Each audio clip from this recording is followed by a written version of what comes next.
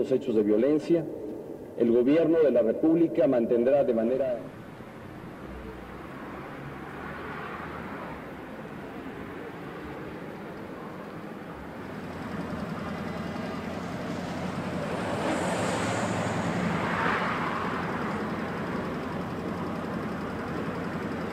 También queremos una audiencia con las dependencias federales, ya que en la contingencia del año pasado hubo muchas afectaciones y hay comunidades que no han sido rehabilitadas.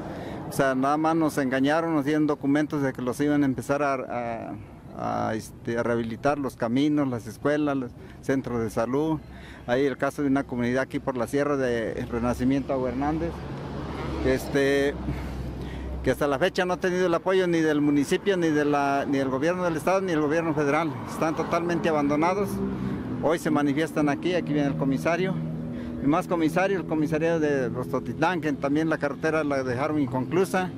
O sea, la rehabilitación de los caminos, por ejemplo, al Puyeca. estaremos hablando que se encuentra En el municipio de Huacoxingo, todas las comunidades, todos los caminos están en las mismas condiciones. En la sierra es igual. Vamos a Palacio a pedirle al, Demetrio Saldívar que nos coordine una reunión que convoque a las dependencias federales y, si no las convocan, pues entonces tendríamos que estar tomando las oficinas de las dependencias federales.